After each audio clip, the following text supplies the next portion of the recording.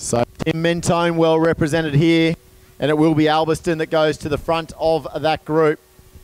So something in those mid 355, maybe 355 might be a target time for these boys. What do you reckon that first lap they'll be looking for, Tim, based on that? I reckon though, they, I wouldn't be surprised they get close to the 60. It depends on how Albiston takes this out. 62 potentially is where they'll go. So it looks like the Glen Huntly colours are also up there.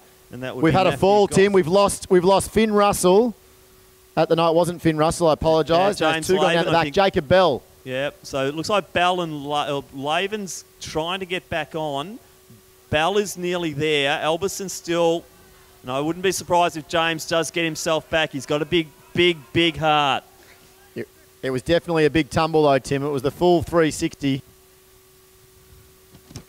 Full forward roll. They have slowed a little bit, Tim. I'll give you a, a, a marker here to tell me as they go through 400, which is in right now. 63. So they're sitting just under the four minute mark. 64s will get them there. So they're on four pace, but we want them to go a bit quicker. And Laven is back on. How good is that? So James Laven, I think that slower pace just allows him to get back in. A little bit of adrenaline surging through the body now.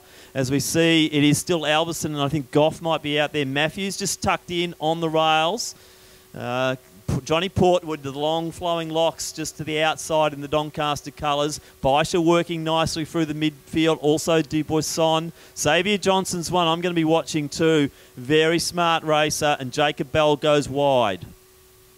Tim down the front straight. Matthew Goff piloting it. A little bit slower than we would have liked. I imagine it's going to be a pretty aggressive sit and kick, I reckon, from here with two laps remaining. So Matthew Goff leads them through to the Doncaster athlete, as you mentioned there, second in John Portwood with the flowing locks. Behind them also Baisha from Scotch. Johnson makes the move though. I was waiting for that one. He's looking very steady as they go through 208. So Goff's doing a good job out front. Baisha now wants to go and he'll go past Portwood and it's Xavier Johnson in next position. So Pat, Paddy Matthews leads the next of the chasers. And our two Mentone athletes, Albiston, obviously our early leader, and obviously also Sam Bunnage also latching on. So Goff, though, puts a little bit of a gap here on Baisha. And the one you called correctly from Mentone making a good move, Xavier Johnson. So Johnson looks the most relaxed of that lead group at the moment. Paddy Matthews fighting on really hard there. And tucked in behind them is another of those Mentone athletes.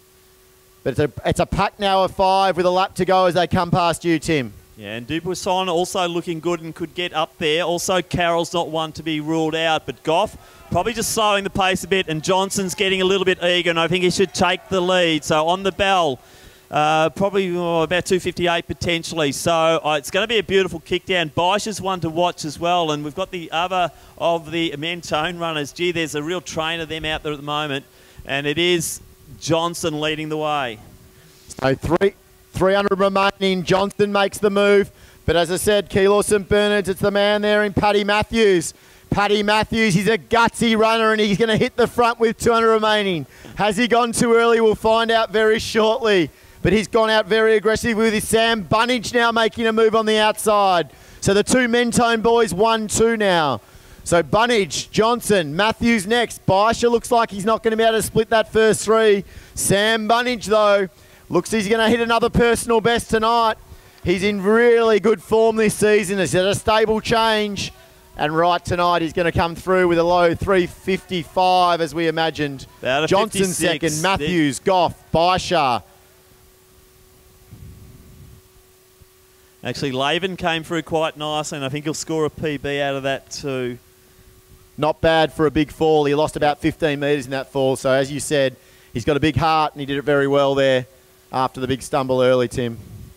Yeah, so some good running there. Probably not the pace we expected, but a nice race, and Bunnage took that out beautifully. Uh, Johnson, once again, big talent and certainly one to watch.